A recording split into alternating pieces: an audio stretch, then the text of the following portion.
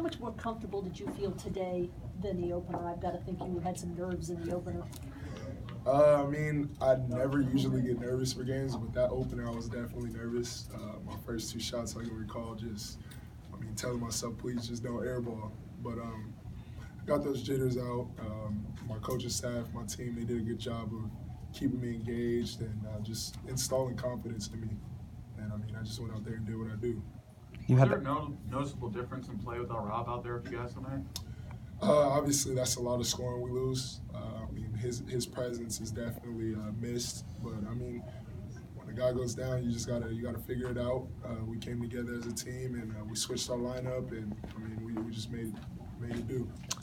I think you had two steals. That was part of that big run. I think it was like a 16 to three run. Can you just go through that sequence? Uh, I mean, we we had uh, we had got chewed out. Uh, it was about our energy and our effort and stuff like that.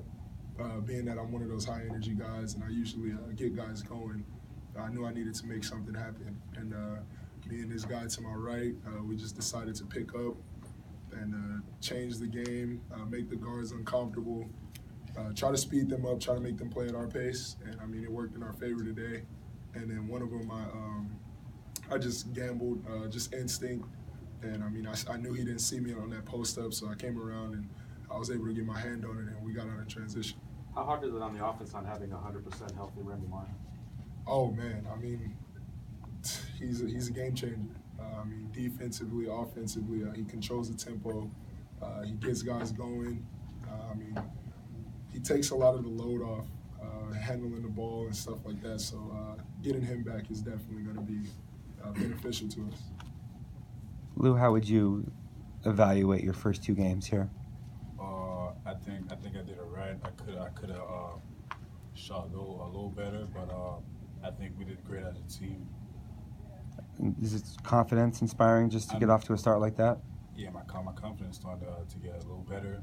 Uh, the fact that uh, I, I, I, I scored the ball well, and then yeah.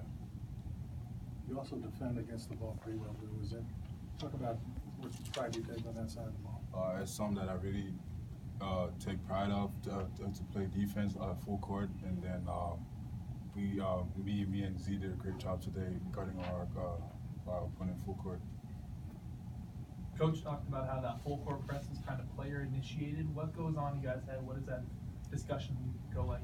Uh, I mean, and, and to be exact, like uh, our exact words was, I mean, I just told him to turn up, and uh, I mean, me and him, we were on the same page. We gave each other the look, and I told him let's. Uh, they had a four man taking it out, and I knew he didn't want to dribble, so I was like, let's just make it. Uh, excuse my language, live in hell for him to get it across half court, and uh, I mean, I, I'm sure. Yeah, I'm sure he he, he felt our wrath.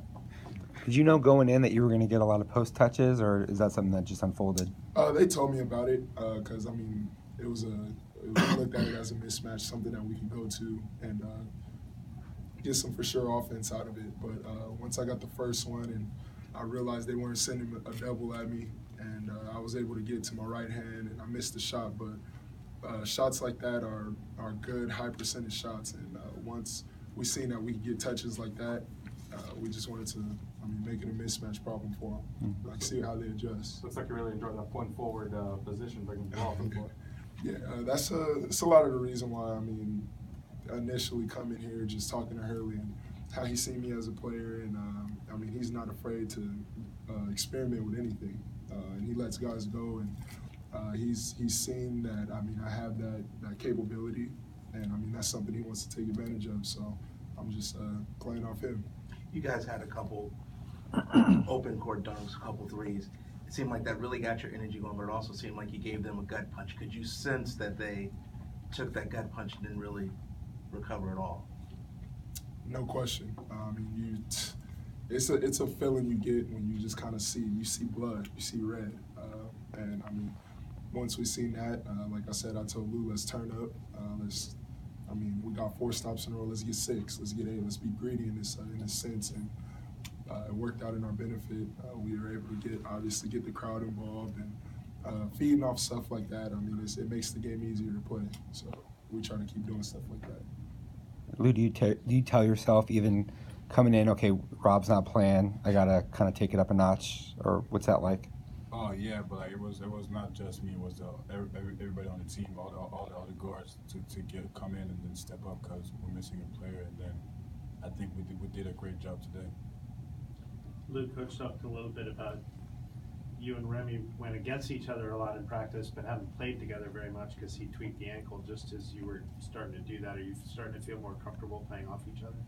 Oh yeah, I mean even in, uh, even in practice, uh, we we started playing together uh, uh, before he got hurt. But uh, I mean I think I think I think it's just good when he plays the one, I play the two, and then uh, I think today was a, a, a good job. Anything else?